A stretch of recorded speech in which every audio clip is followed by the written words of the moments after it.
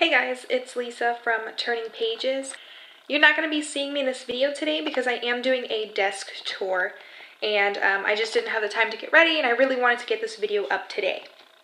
So what you see right now is where my old bookshelf used to be, right here. I have a second bookshelf right next to it. You guys have probably seen this in multiple videos, if not every single one of them. And here was my old shelf. I decided to get rid of it along with some books. And I decided to buy myself a desk a little side cabinet sort of thing, as well as a um, desk chair and a desk lamp. So, um, without further ado, let's just get into it and let's see what I have. So the first thing right here is my printer, and this is the Maxify Canon MB 2020.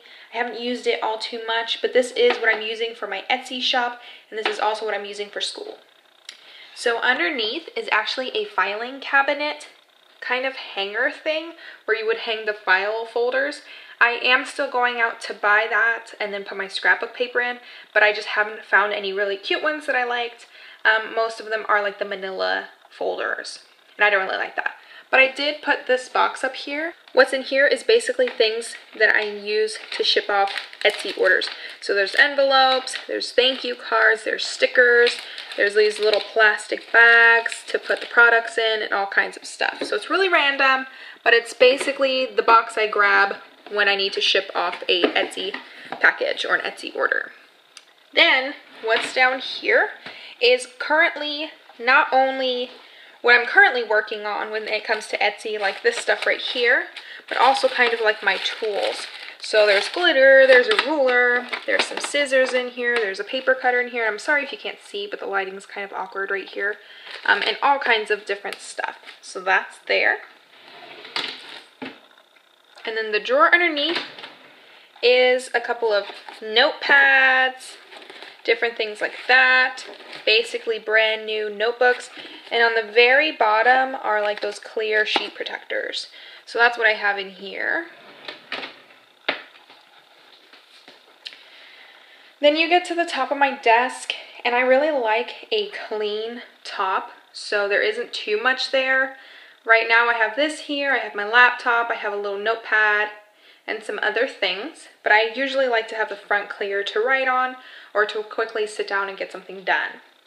So you're gonna see the first thing are these two containers that are like to hold paper or notebooks or books and things like that. And I bought these at Office Max or Office Depot, I'm not sure, but I'm definitely going to go ahead and put the link down below. I bought two of those, and in this first one are kind of like unused notebooks. So I didn't know where else to put them. I thought they still looked nice because they weren't used yet and weren't crinkly or ripped or anything, so I figured I'd just put them here. Then I have some cardstock paper to print my business cards on.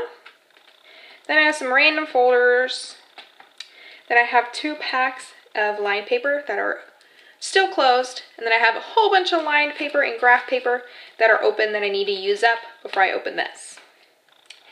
Then there's not too much here. And then you're going to see my laptop. This is the laptop I use for my Etsy and blogging and things like that. I got a brand new laptop for school just recently um, as a gift.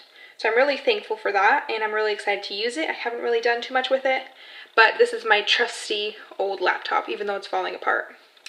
Then right here, I usually have a, a little notepad, so in case I need to write something down, like when I can buy my parking permit, um, and just remind myself through that.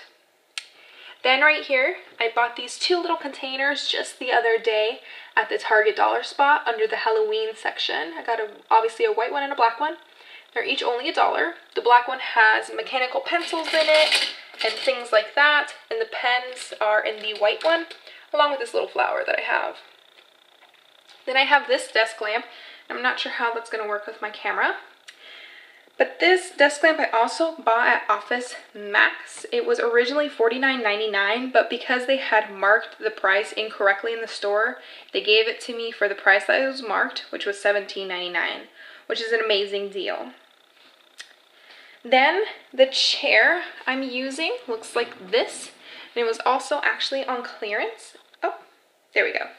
This chair, it was also actually on clearance. Originally, I think it's 150 to $160 or right around there. Again, if I can find it, I will link it down below. And I picked it up for right around 89. It was on sale, and then if you have a membership card, you get 10% off. All right. So then, the last two drawers I have to show you are these ones. And the top one is actually my favorite, so I'm going to go ahead and save it for last. And then we have the bottom, and let's see what we have. The bottom is actually pretty empty. Um, this is the instruction booklet to how to build the desk. And if I ever want to reverse it, so I can have the drawers on this side of the desk or on this side, I can easily do that. So right here, I just have a container of markers that still work. I went through all my markers and all my pens and things like that. And I picked out all the markers that weren't working anymore. And this is basically what's left. I don't use them too often, but I usually like to write myself colorful notes. What's in here is one of those boxes that I bought at Ikea. Again, if I can find it, I will link it down below. And what's in here are some crayons. I have some sticky notes. I have a pencil case full of colored pencils all kinds of just random things that I didn't really know where to put and that I don't really use very often. I felt like could just go right in there and it wouldn't be really in the way or, you know, too crowded. Then we're getting to my favorite drawer, which is this. And I'm so sad that you guys can't really see all that well. So let me try something real quickly. Okay, so I rearranged the desk lamp, so I hope you can see a little bit better.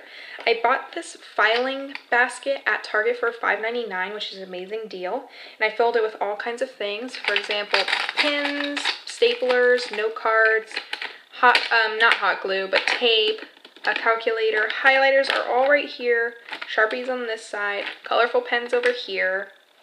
Down here I have erasers, I have glue sticks, here I have some smaller sticky notes and sticky tabs, um, lead, um, more lead, all kinds of stuff. And towards the back, right back there, I have glue, I have extra staples, and I have pencils and a sharpener in case I need to take um, standardized tests. So yeah, that's pretty much what I have in my desk. It's not very much because I am trying to keep it very basic and very minimalistic. That was really hard for me to say.